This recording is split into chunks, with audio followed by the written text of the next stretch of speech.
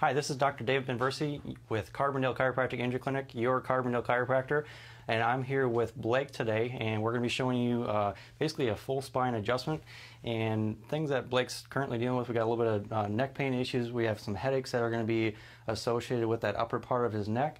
Uh, we also been dealing with a little bit of jaw issues, so we're going to show you what a jaw treatment looks like in the office and uh, a little bit of lower back stiffness. So literally from his lower back all the way up into his upper back and neck, we're going to be doing a treatment with him and uh, just letting you know sort of what we do and how that works for us in the office. So Blake, I'll have you laying face down for me.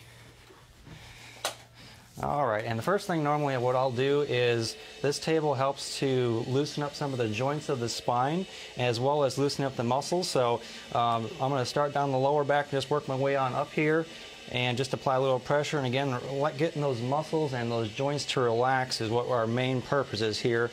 We're not going to be doing too much as far as the adjusting side of things yet, but um, we'll get there.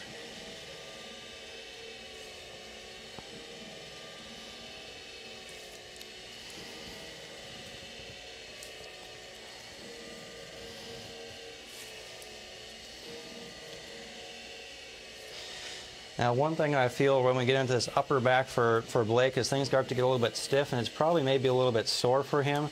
Is this sore through here at all, Blake? Yeah. Yeah, okay. Um, so that's an area or an, uh, a spot that I'm going to try and focus on, make sure that it's moving better by the time that we're done here.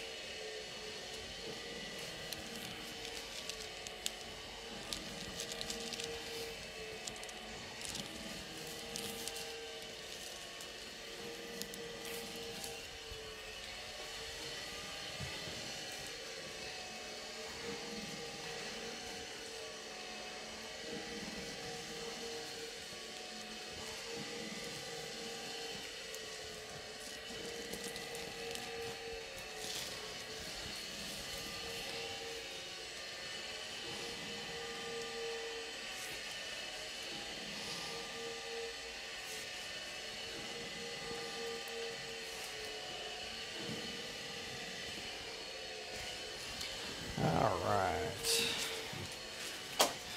So now we got things loosened up here. Next we're going to be going into some of the assessment. And we're going to be applying a little bit of pressure on this muscle down his right side, a little bit of a restriction in his hip. So we're going to again try and loosen that muscle up, and then we're going to be adjusting things and getting that joint moving better. Okay. And we're going to lift up here. You okay with that dropping down there, Blake? Yeah. All right.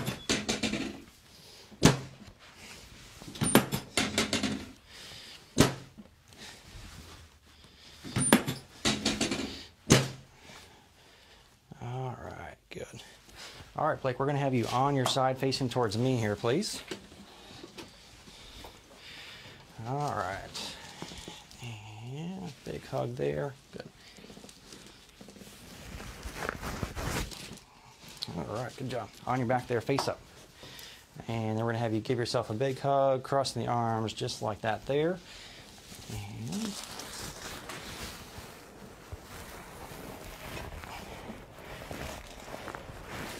okay, deep breath in here for me.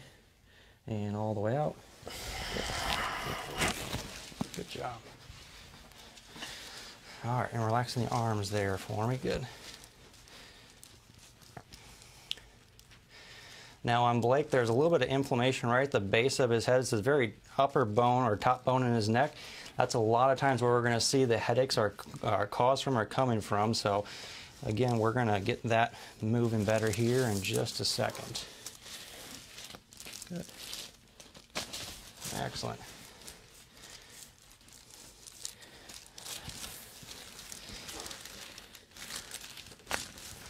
Very good. And just stretch them out a little bit.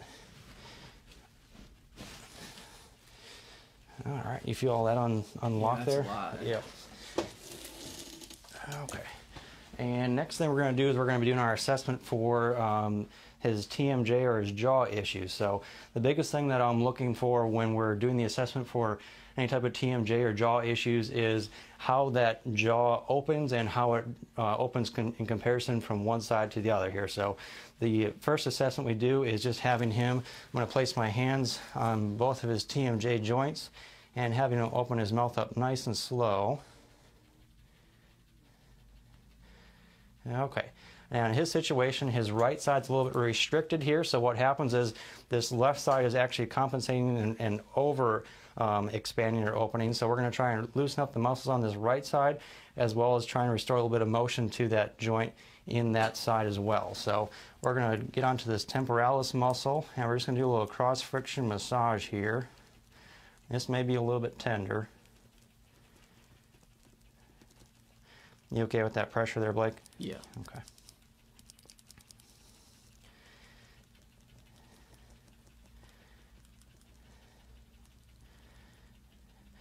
Now there's two other muscle groups that we're going to be working on that are more on the inside of his mouth. So I'm going to go grab a glove here real quick and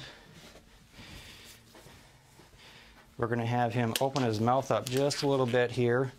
And again, we're trying to just get those muscles to relax so when we do uh, try and mobilize that joint that it releases well. So, and then relax him back down. And normally what I'll find here is that there's a muscle right here that's probably a little bit tender. Is that tender there, Blake? Mm -hmm. Yep.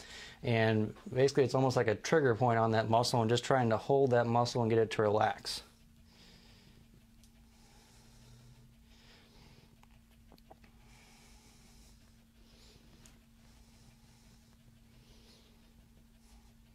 You doing okay with that pressure? Yeah. Yeah. Okay, and then open up just a little bit more here, and then I'm just going to apply a little traction down.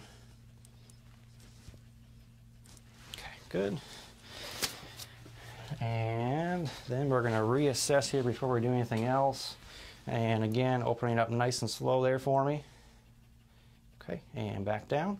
I'm going to have you turn your head over to this left side there and opening up just a little bit here. And what I'm using here is a an impulse device. And the reason why I do this versus using my hands is because I can get a little bit more specific and that joint itself, the way it sits, it's a little bit hard to get any type of a good um, hand contact on that area. So normally I'll use this instrument and help to loosen that joint up there. Okay, all right, and face back up for me here. And opening up nice and slow again. Okay. Now, one of the things, his left side is still opening a little bit more than his right side, but it's improved. Um, a lot of times I don't like to do too much with the, the TMJ or the jaw because it is such a, a, a fragile or a susceptible area that if we do too much, we could potentially irritate things. So we're going to leave things where it's at for right now. Uh, we're going to move on to doing a little bit more work on his lower back here. We'll have you on your side facing towards me here, please. And top leg up there. And again, grabbing that elbow, perfect. Good. I'm gonna help you sit up here. And we're gonna have you put your hands on your hips, thumbs pointing backwards here. A lot of times I will adjust the, the shoulder and the shoulder girdle because a lot of times if we're having any type of upper back or neck issues, all those trap muscles, as well as these stabilizing muscles in the, the lower part or the middle part of the shoulder blade area, all come out to the shoulder. So I like to try and address all that with this as well. Okay, go ahead and push back here hard and quick. Good. And push back there. Excellent. Good. And relax in here. Okay, and relax there. All right, and last thing we're gonna do to finish up Blake's treatment today is we're gonna put a little bit of gel and also some supportive tape on this upper back and neck area, and we're gonna go from there. Now, the particular brand that we use in the office is called Rock Sauce, and we also use their Rock Tape. So they uh, work really well together. And this Rock Sauce, I like to explain to people, is sort of like icy hot on steroids. Uh, it has a lot more of the active ingredients that give you that sort of that heating, cooling sensation. And it also helps to prep the skin so that when you put the tape on there, normally this tape's going to stay on for about three to five days and give those muscles in that area some extra support as well as help to reduce some of the inflammation in that area as well.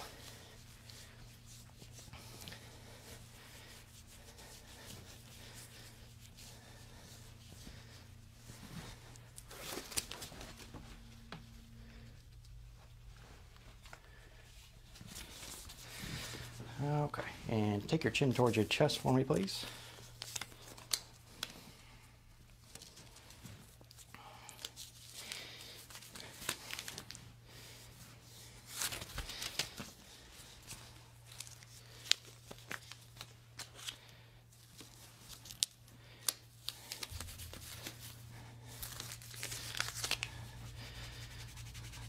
All right. And we're all wrapped up there. So uh, that's what a typical treatment looks like in our office. Again, with Blake, he did have multiple symptoms, basically ranging from his upper back and neck down to his lower back. So we did treat the entire spine as well as the jaw there. So uh, again, my name is Dr. David Binversie. If you are having any back pain, neck pain, or headaches, uh, give our office a call for our Carbondale Chiropractic Injury Clinic.